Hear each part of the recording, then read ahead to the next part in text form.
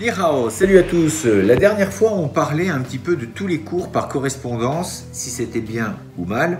Là n'est pas la question, simplement euh, on va essayer de voir ensemble un petit peu quels sont les avantages et les inconvénients d'une telle pratique. Donc vous l'avez compris, là n'est pas le but de savoir si c'est bien ou mal, on l'a déjà vu dans l'autre vidéo, il n'y a rien de bien, il n'y a rien de mal, c'est à chacun de savoir ce qu'il a à faire.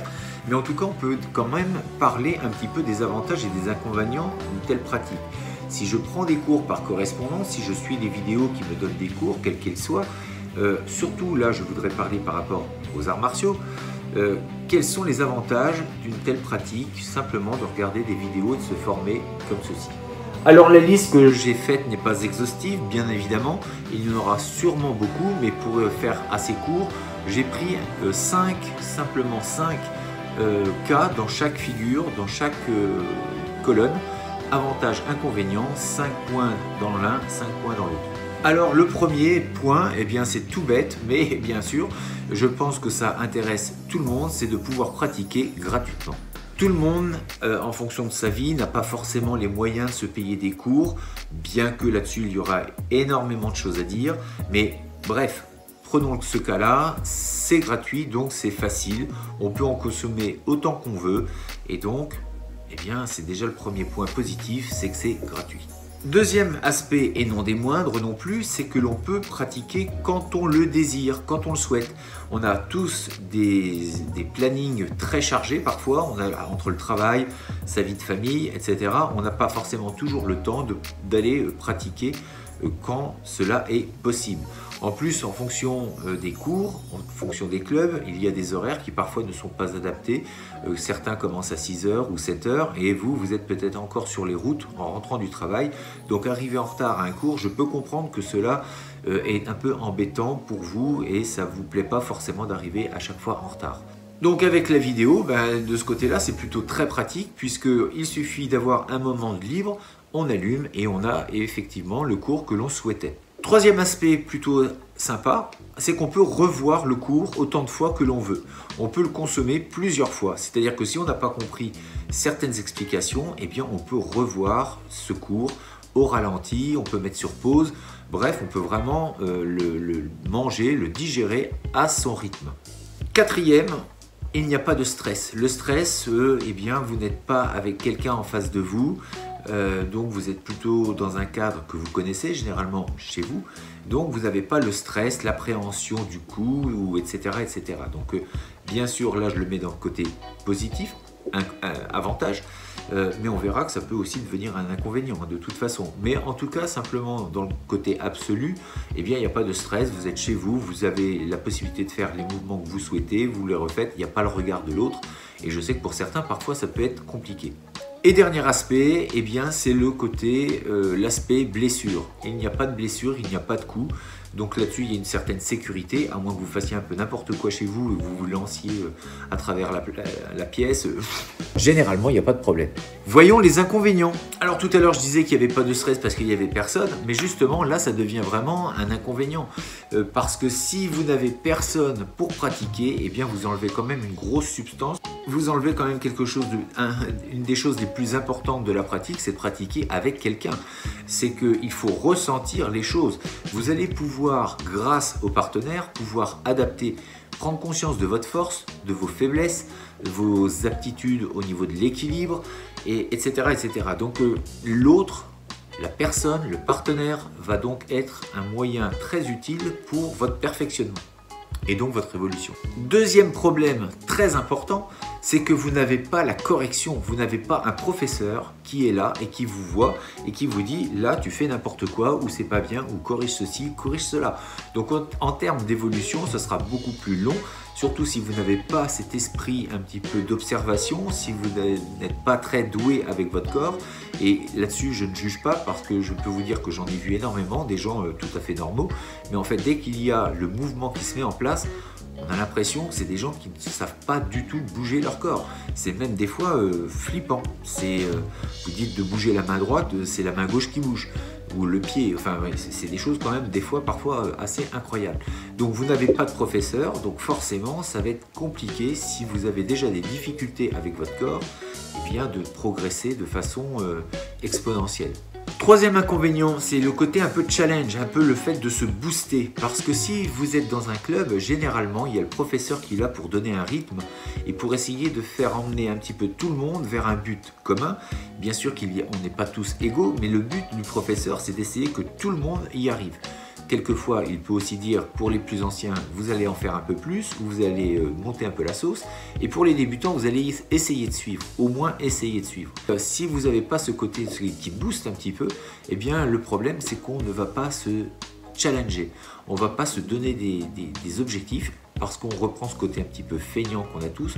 On n'aime pas trop souffrir. Et donc, le fait d'être dans un cours, eh bien, on se sent un peu obligé de faire les choses.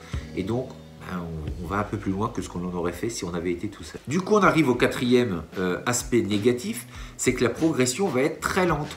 C'est que si vous n'avez pas euh, de professeur, donc forcément ça en découle, la progression va être très lente. Vous avez beau avoir des cours, on dira ce qu'on veut, mais apprendre tout seul, c'est beaucoup plus long que d'être avec un professeur et de travailler avec. Dans certains cours, vous aurez même la chance. Euh, il y a certains professeurs qui se, qui se laissent comment euh, qui, acceptent de travailler avec leurs élèves. Certains non. Euh, j'ai connu ça aussi, hein, où on ne travaillait pas du tout avec le professeur.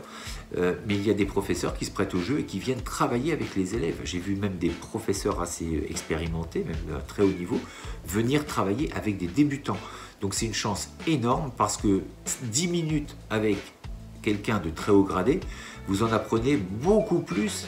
C'est du temps de gagner, peut-être des heures, si vous aviez travaillé tout seul chez vous. Et ça, ça marche pour tout. En cuisine, en chandronnerie, en ce que vous voulez. Si vous travaillez en direct avec un maître, avec un professeur, un grand chef cuistot, ce que vous voulez, forcément, vous, ben, vous le comprenez par vous-même, vous allez progresser beaucoup plus vite. Et le dernier aspect que je mettrai en place, enfin que je, viens euh, mettre dans cette colonne, c'est le manque de travail sur le mental. Donc ça rejoint un petit peu ce qu'on a dit tout à l'heure, mais vraiment les exercices axés sur le mental, axés sur la douleur, l'acceptation de la douleur, de passer outre et de continuer quoi qu'il arrive.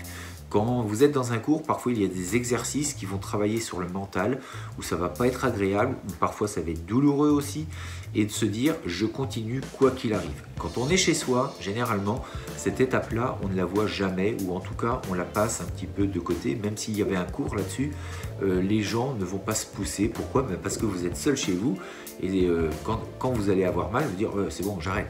Alors que dans un cours, avec le regard des autres, avec le regard du professeur, eh bien vous vous sentez un petit peu obligé de continuer parce que ben, lui, de toute façon, il va être là pour vous booster, vous dire tu continues, tu t'arrêtes pas, et on tient. Donc forcément, un cours va vraiment vous prendre en main et va vous vraiment vous emmener vers quelque part où là vous n'auriez pas été vous-même, ou en tout cas euh, vous n'auriez peut-être pas osé y aller, euh, peut-être pas le faire, euh, mais en tout cas dans un cours, bah, vous vous sentez un peu obligé. Et puis bon, dans certains cours, vous êtes obligé, de toute façon, il n'y a pas le choix. Donc bien sûr, les gens font ce qu'ils veulent. Ce qui est important, c'est que vous vous sentiez bien dans ce que vous faites. Si pour l'instant vous avez envie de consommer des, vidéos, eh bien faites-le. Il y aura toujours des gens qui vont dire oui, mais non, c'est pas bien, etc., etc. Si vous, ça vous fait du bien, faites-le. Mais, mais, je mets quand même un petit mais, c'est que si vous voulez vraiment progresser, je vous conseille fortement d'aller dans un cours, aller faire du karaté, aller faire de la boxe, aller faire du judo, aller faire du kendo, du ninjutsu, de ce que vous voulez. Mais allez dans ces cours-là parce que vous allez vous enrichir beaucoup plus. Et ça ne vous empêche pas, chez vous, de regarder d'autres vidéos. Vous pouvez combiner les deux. Mais en tout cas, avoir le ressenti de ce que vous êtes capable de faire avec un partenaire, euh, choisissez bien votre professeur, choisissez des gens pas que techniques, mais des bons pédagogues. Allez une fois ou deux ou trois fois dans, un cours et assistez au cours et essayez de demander aussi si vous avez la possibilité gratuitement d'avoir un cours d'essai, de, faire et de ressentir ce que vous avez au fond de vous, ressentez les choses. Certains vont aimer un professeur et d'autres non. Pourquoi? Ben, En fait, c'est une histoire de ressenti. Si vous, vous, ne vous sentez pas bien dans un cours, ben, n'y allez pas. Allez là où ça vous plaît, parce que c'est comme ça que vous allez apprendre. Pour moi, le jeu, euh, travailler à travers le jeu, c'est comme ça qu'on apprend le plus. Ça ne veut pas dire qu'il ne faut pas travailler avec de la rigueur, mais si vous avez une bonne ambiance, si vous, vous éclatez dans ce que vous faites, croyez-moi, vous allez apprendre énormément. Et en plus, et en plus, vous serez content d'y aller. Donc faites-moi plaisir, si vous aimez les vidéos que vous regardez ici ou ailleurs, avec d'autres, eh bien, essayez de prendre un peu de temps pour aller voir les cours, aller voir ce qui se passe autour de chez vous. Croyez-moi, ce sont vraiment des écoles de vie qui nous apprennent énormément de choses sur nous et les autres. Et du coup, on se sent mieux dans notre vie quand on se connaît soi-même. Bon, là-dessus, j'ai un côté un petit peu radical où moi, je mettrais ça obligatoire dans toutes les écoles. je sais, c'est un petit peu euh, intransigeant, mais euh, sachant ce que ça apporte, euh, franchement, je mettrais ça obligatoire à l'école. Très sincèrement, on apprend tellement de choses à l'école qui ne nous servent à rien dans la vie. Pythagore, Thalès, tout ça, je suis bien, je mets au défi quiconque qui a 40-50 ans de dire si une fois il s'est servi de Pythagore ou de Thalès Enfin, il y a des choses qui ne serviront à rien. Alors que les arts martiaux, si vraiment c'était enseigné dans les écoles, un, on aurait des gens qui se tiennent mieux dans la vie, qui sauraient comment se comporter et qui sauraient aussi se défendre. Ça serait sûrement pas des grands champions, mais est-ce que c'est le but de faire des champions? Les champions, il y en a quelques-uns. Des hommes forts, il y en a quelques-uns. Mais encore une fois, la pratique, c'est pas de faire des hommes forts, c'est de faire des gens qui sont intelligents, des gens qui réfléchissent et qui ne vont pas forcément passer à l'attaque euh, tels des pitbulls ou des euh, gladiateurs. On doit savoir en cas d'agression au moins essayer de sauver sa vie et de faire au mieux. Mais après, euh, on ne sera pas sur un, dans une cage à l'UFC ou au Pride en faisant du MMA, etc. Là, ça devient un sport où les gens s'entraînent 6 à 7 heures par jour. Donc on n'est pas dans ce cas-là, on a d'autres vies. Mais en tout cas, si dehors ça peut vous servir à vous sentir mieux et à vous sortir d'une situation délicate, eh bien, on va dire que c'est plutôt pas mal. Et en tant qu'être humain, on a ce devoir de pouvoir un petit peu prendre sa vie en main et donc de la défendre. C'était à la base euh, quelque chose de très naturel. On devait pouvoir trouver à manger soi-même et défendre sa famille et bien sûr nous-mêmes. Aujourd'hui, on a perdu un petit peu tout ça. On laisse les autres nous nourrir avec les agriculteurs. On va dans un magasin, on achète et euh, pour se défendre, ben, on dit qu'il y a la police, etc. Mais encore faut-il qu'elle soit là au bon moment, ce qui n'est pas toujours le cas. Et quand c'est le cas, ben, on va dire que c'est le miracle. Attention, je n'ai rien contre la police. Je dis simplement que si on attend que la police pour se défendre, on a peut-être le temps d'être mort. Ou en tout cas blessé. En tout cas, on sort un petit peu du sujet. Savoir les inconvénients, les avantages, il y a des deux.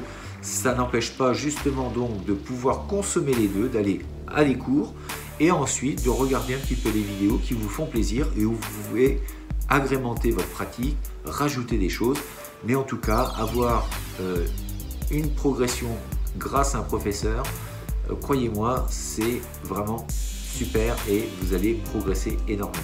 Je vous dis à demain pour une prochaine vidéo. D'ici là, restez fort, restez beau et restez bienveillants. Ça